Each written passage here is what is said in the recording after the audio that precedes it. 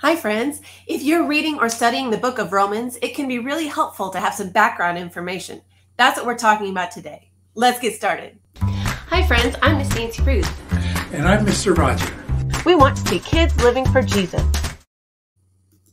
Okay, so in the book of Romans, first we're going to ask some key questions. First, whom did God use to write the book of Romans? Do you know? Let me know in the comments. The best place to look for this first is in the text of the book itself. Romans 1 1 says, Paul, a servant of Jesus Christ, called to be an apostle, set apart for the gospel of God. So, because of this, we know that Paul wrote the book of Romans. All right, so who was this Paul guy? Paul was really interesting. Um, if you're looking at um, churches and uh, cathedrals and things, you'll know a statue of Paul because he usually has a sword, which is how he was martyred with by the sword a book, and a bald head and a really long beard. That's how you can recognize Paul in the statues. But who was he?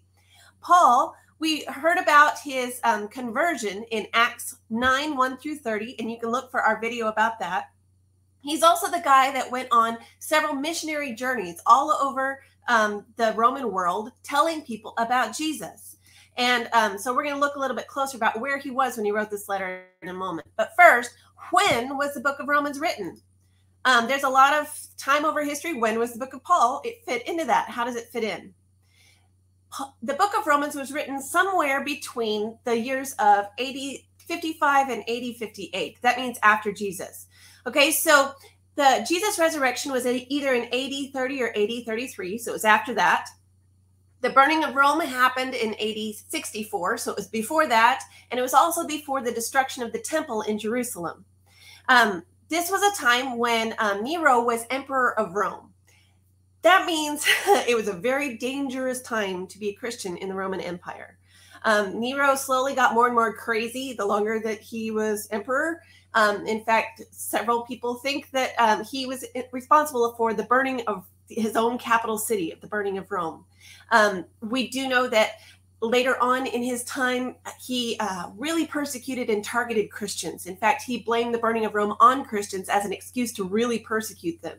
And a lot of um, terrible things happened to people who confessed that they Jesus as their Savior and Lord. So it's before all that got really nasty, but it was it was coming. It, it was definitely coming, and it was even starting a little bit. This is when Paul was writing to this church in Rome, right where the emperor lived. All right, the other important part we need to know is when was this happening in Bible history? Let's look at our song and find out. One, two, one, two, three, four. Creation for Noah, Tower of Babel, Abraham, Isaac, Jacob's twelve sons, Joseph sold to Egypt, famine and slaves, Moses and the Exodus, wilderness commandments. Joshua, promised land, judges and kings, temple and the prophets, divided kingdom. Sent away to exile, returned for hundred years. Shh, Jesus was born, he died and came to life. The Holy Spirit comes and people tell of Jesus. Paul's missionary journeys, us in Christ's return. Now I know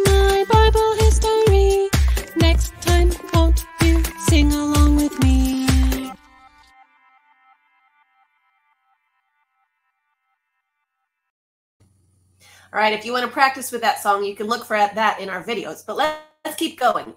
So during this time, when the book of Romans was written, Paul was on his third missionary journey. This is a map of his third missionary journey, and he was in Corinth. Do you see where Corinth is? Can you find it?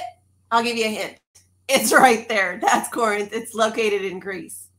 Okay, so Paul was writing from Corinth to the Romans. Oh, we'll get back to did we already say he was writing to the Romans? No, we haven't. So I've given you a hint about what's coming up next.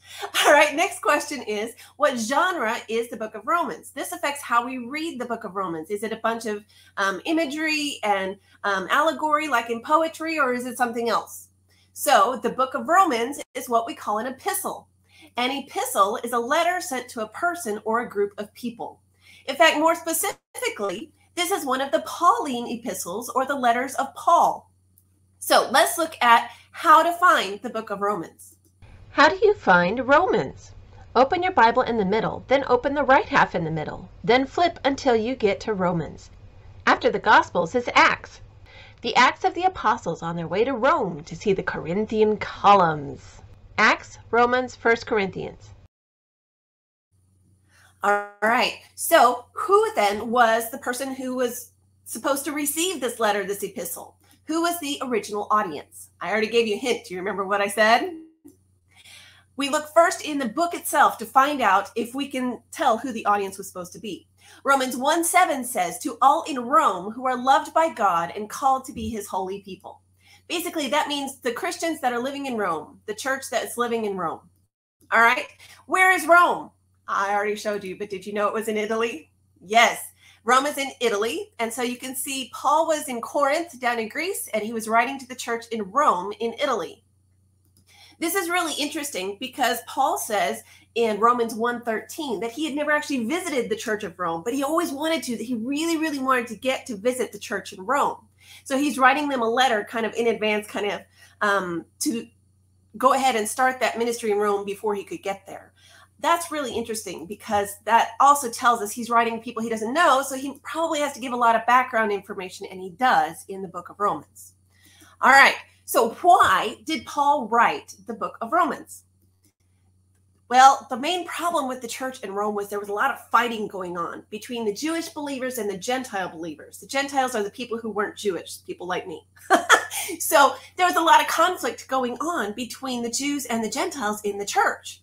And Paul wrote because he wanted to bring unity to the church so that they would praise God together. That's the main reason he wrote. And we can tell in Romans 15, verses 7 through 13, that's where he explains his purpose of writing this letter. I only put the verses 7 through 9 here, but you can read the whole thing on your own. Listen to what this says. It says, Accept one another then, just as Christ accepted you, in order to bring praise to God. For I tell you that Christ has become a servant of the Jews on behalf of God's truth so that the promises made to the patriarchs might be confirmed. So that's the Jewish part. Now here's the Gentile part. And moreover, that the Gentiles may glorify God for his mercy.